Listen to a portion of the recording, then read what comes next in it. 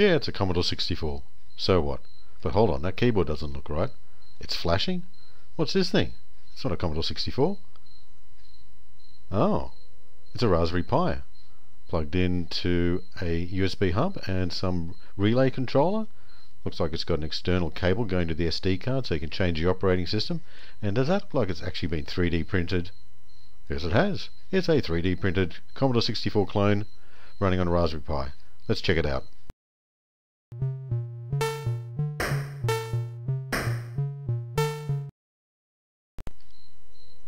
Okay, what kicked off this project was finding this keyboard on eBay. It looks a bit like um, the Commodore 64 keyboard, at least at least in terms of the overall dimensions. So I produced a alternative uh, backing plate for it to fit into the project. And the keys that are missing are the keys that you need to remove to take the screws out to remove it from the original case and attach it to the backing plate that's 3D printed and that transparent thing is the flashing color thing that uh, I originally took out but decided to put back in just for good just for fun. So now I'm just going to stick the keys back in. It's also important with a project like this to uh, to work quickly as you can see. The uh, the files for this project are on Thingiverse and I've provided a link below. Okay let's get started with the case the 3D printer build volume uh, used here was quite small, uh, about 1100 um, by 1200 mil by um, 1000 sorry 100 high. So you really only need a basic printer and this project will be just fine. As you can see it, uh, it's designed to break up to uh, relatively small pieces and it has tabs that connect into slots that allow the uh, the all the different pieces to be super glued together. One of the reasons I've done this is I hate getting rid of support. So this whole project is designed without any requirement for support. A huge time saving when it comes to uh, assembling something as complicated as this.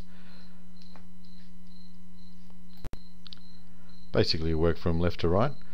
Start by joining the edge pieces together.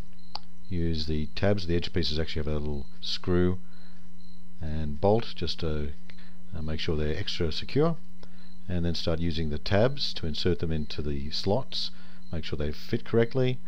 Uh, a bit of sanding may be required just to make sure everything fit fits nicely. Then glue the slot into the uh, into the piece. Then the next section comes along and you just keep doing the same thing until you get to the other end.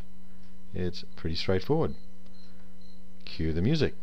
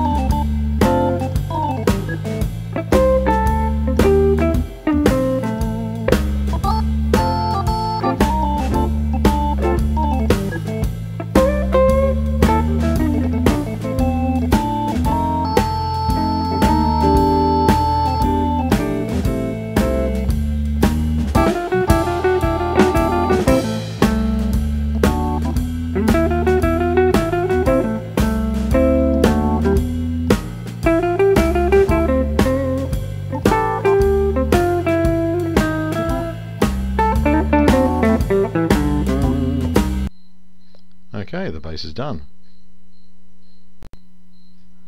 Okay, I've pre-assembled it, so now I'm pulling it apart to glue it together properly. I'll just use super glue. Uh, that uh, works fine. Uh, there's, uh, I think the PLA plastic used in 3D printing is, is very uh, tolerant to most adhesives, um, and basic super glue works just fine. So this is basically the same as approach as last time, except we've got the two different sections above and below the uh, keyboard area and we've also got the uh, the non-functional function keys on the right they're a part of the 3D print file set and they're just ins inserted and uh, you'll see how that slots in in a moment. But yeah, as you can see, it's the same basic process as before. Cue the music.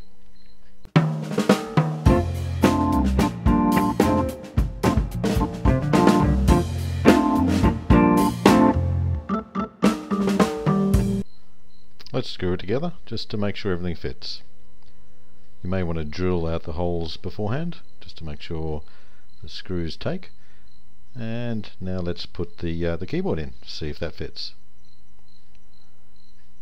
Again, just we'll just drill out the holes, make sure everything's lined up, and start screwing it together.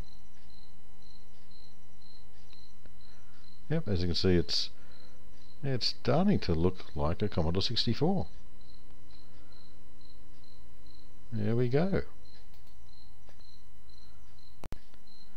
Unfortunately, I wasn't happy with the overall finish of it. The uh, joins weren't particularly well lined up. Maybe that's a reflection of my printer. I don't know, but um, I just wasn't happy with the overall appearance of it. Um, so I wasn't going to leave it in the raw 3D printed state. So to tidy things up and also give it a coat of paint, I added um, some sandable primer, the uh, sort that you get from the uh, hardware store. I actually used leftovers from an automotive project. So as you can see, I've uh, given it a bit of a squirt of uh, the sandable primer and sanded away just to uh, to fill in the gaps and to uh, just get a better overall finish. Okay, after another round of sanding and putting on some more sandable primer, uh, I got to the point where I thought it was ready for paint. And all I did was use um, some uh, grey paint rather than the traditional brown. I thought that would go a little bit better with the keyboard. And it was just what was uh, available at the local uh, auto shop. So yeah so unfortunately I've lost the video of the uh, the painting process but it's nothing um, exceptional in, in terms of complexity. It's just give it a squirt. I'm sure there's plenty of videos on YouTube on how to uh, use a rattle can to, to paint something and that's really all I did. Let's have a look inside. We've got a Raspberry Pi 3B with the power, HDMI and audio accessible from the back. I've got a cable taking the SD card making it externally available so you can change the operating system. I've had an external relay board so I control external devices but that's certainly not required and I've got a USB hub for whatever devices you want to run. I'm using a 3.3 volts off the GPIO to run the power LED. These cables control the external devices on my relay board and that's basically it. I've also printed the PETSCII character set on some adhesive labels and cut them up and stuck them on the keys. And here it is, running Combian 64, the Commodore 64 emulator. I tried a number of the other emulators, but uh, Combian 64 certainly uh, seemed to be the most reliable, so I'm using that. As a result of the external SD card, changing the operating system is just a matter of changing the SD card. So uh, changing over to something like RetroPie and turning it into a retro gaming console, or simply uh, changing it to the Raspberry Pi operating system um, is certainly an option. I use the uh, Raspberry Pi operating system to control the external uh, relay controller, um, as well as of course um, a few uh, retro games with the uh, RetroPie. So it's not just a Commodore 64; it's turned into quite a versatile little unit. Hopefully you like it. Like and subscribe. Thank you very much.